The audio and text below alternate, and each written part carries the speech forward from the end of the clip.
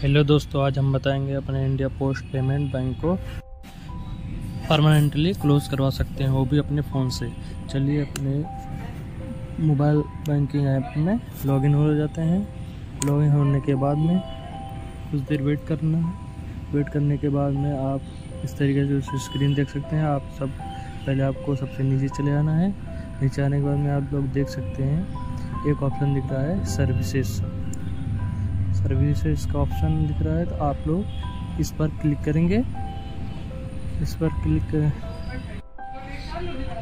Click करने के बाद में आप लोग नीचे देख सकते हैं, एक ऑप्शन दिख रहा है रिक्वेस्ट एंड कंप्लेंट्स ये रिक्वेस्ट एंड कंप्लेंट का ऑप्शन दिख रहा है, आप लोग इस पर क्लिक करेंगे। इस पर क्लिक करने के बाद में आप लोग देख सकते हैं, कुछ इस तरीके से स्क्रीन खुलेगा खुलने के बाद में आप लोग देख सकते हैं कैटेगरी। प्लीज़ सिलेक्ट आप लोग इस पर प्लीज़ सिलेक्ट पर क्लिक करेंगे। प्लीज़ सिलेक्ट पर क्लिक करने के बाद आप लोग दूसरा ऑप्शन पर क्लिक करेंगे। फीडबैक फीडबैक पर क्लिक करेंगे, फिर नीचे आ रहा है सब कैटेगरी तो आप लोग उस पर क्लिक करेंगे। क्लिक करने के बाद में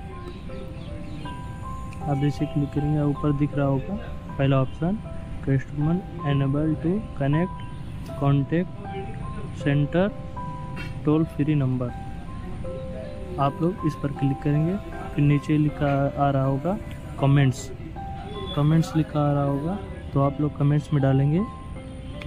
हमारी तरह लिखेंगे please P L E S E close C L O sorry दोस्तों। C L O S E close M Y my A account A double C O U N T account account इतना लिखने के बाद में आप लोग नीचे देख सकते हैं, आप लोग को दिख रहा होगा सबमिट के नीचे। ये दिख नहीं रहा है नीचे रेड कलर का नीचे दिख रहा है, राइट साइड में उस पर क्लिक करेंगे। तो आप लोगों को इंटर ओ देखने को मिलेगा स्क्रीन पर तो आपके रजिस्टर मोबाइल नंबर पर एक ओ आएगा। ओटीपी आने के बाद आप लोग इस ओ डाल देंगे, फिर सबमिट कर देंगे। सबमिट करने के बाद में सबमिट करने के बाद में आप लोगों को रिक्वेस्ट रजिस्टर्ड सक्सेसफुल आप लोग देख सकते हैं।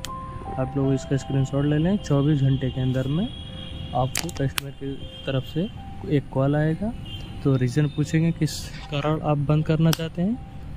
तो आप ऐसी तरीके से आप अपने इंडिया पोस्ट पेमेंट बैंक को परमानेंटली बंद करवा सकते हैं। वो भी अपने